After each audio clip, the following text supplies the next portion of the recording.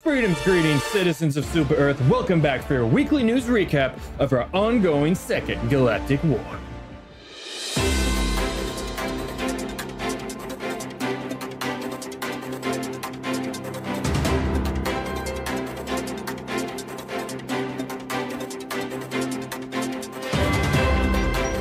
We have a couple of surprises in store for you this double weekly update as our studio was asked by Super Earth to take a democratic week off. We have our meteorologist, Son of Valor, and a message from our partnered studio, GFN, and a commemoration from Pondera, the radio angel, back on Super Earth to help keep us all up to date on Liberty's latest.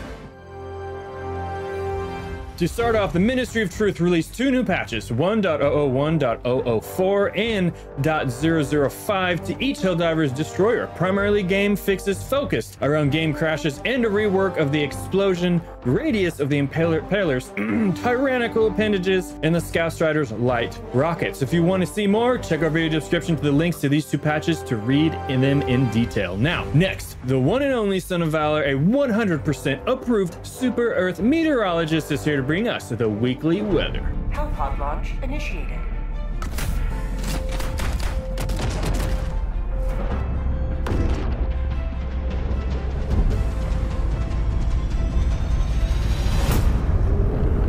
Hello, Helldivers on the front. I am Son of Valor giving you your weekly forecast. It's good to be back, my fellow Helldivers. I want to encourage all of you out there fighting the good fight. Don't give up. Keep standing strong and don't let anyone stop you.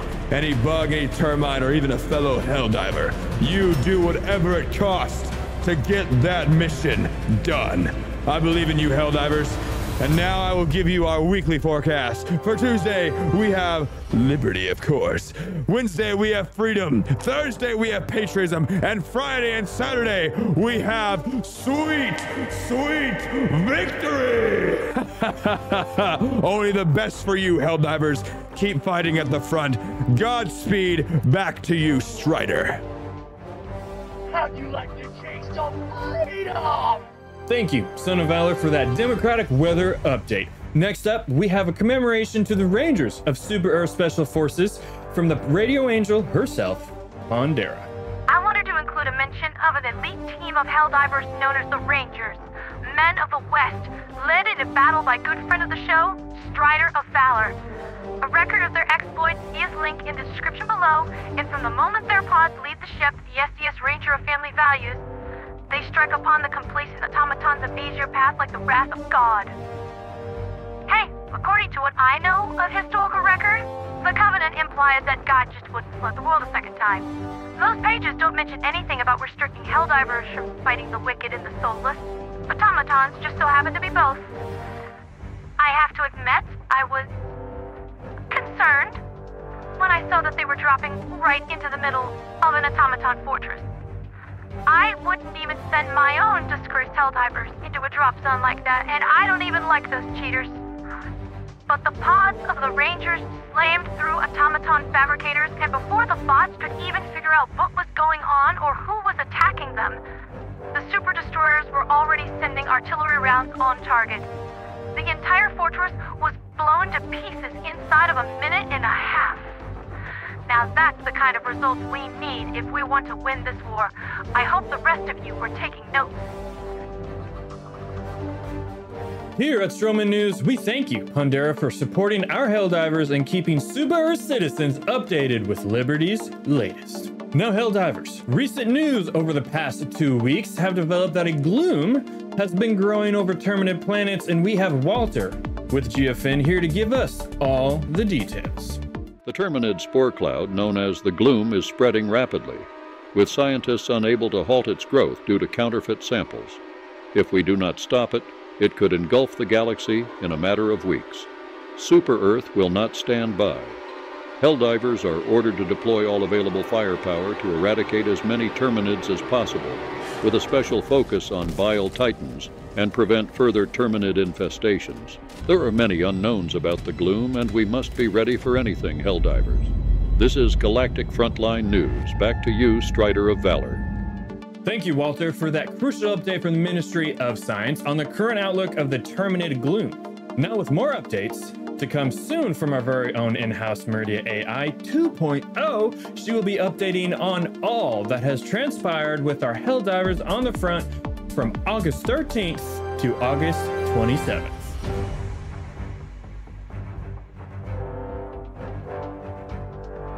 Salutations, intrepid heroes of Super Earth. On August 13th, Gacrux and Acamar were attacked by the Terminids. While Acamar was successfully defended, Gacrux was lost against the endless hordes of the spore-powered Terminids.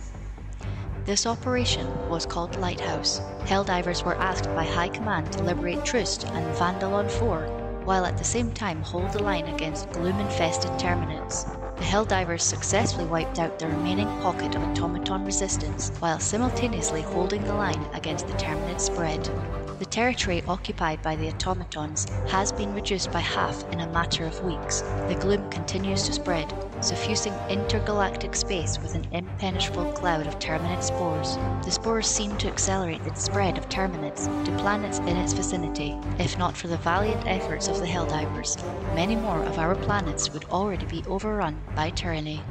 On August 15th, the Ministry of Science enacted Operation Prometheus, requiring Helldivers to secure Terminid research samples, allowing our scientists to investigate the gloom. The mission was simple successfully extract 45 million common samples on Nivel 43, extract 15 million rare samples on Erson Sands, and extract 10 million rare samples on Crimsica. Much to the dismay of Super Earth High Command, the Ministry of Science had detected a large batch of counterfeit samples within the delivery of the last major order.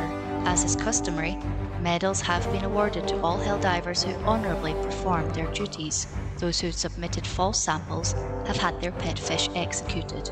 Laboratories all across Super Earth controlled territories are attempting to filter out the false samples, but the expected scientific advances to combat the spread of the gloom had decreased significantly. As a result of this, worlds near the gloom have begun resettlement protocols. As a result of the hacked Major Order, High Command enacted Operation People's Shield, where Helldivers were requested to liberate Curia and defend three attacks from the automatons. By August 19th, this was completed.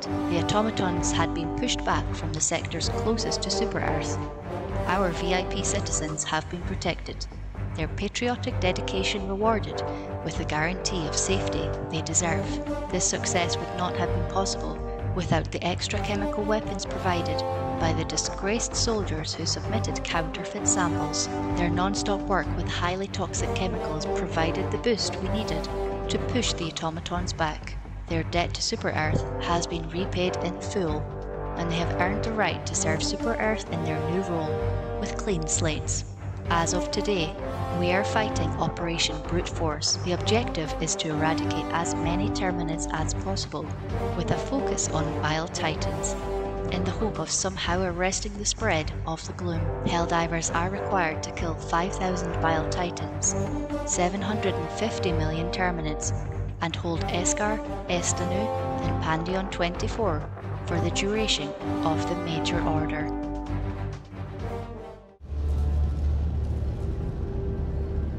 Thank you, Rangers and Helldivers, for choosing us to be your Super Earth Update Network. And we want you to join us Tuesday and Thursday nights at 8 p.m. CST for drops wherever Super Earth requires.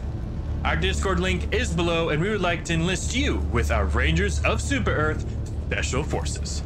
Dive safe and see you in the next news video.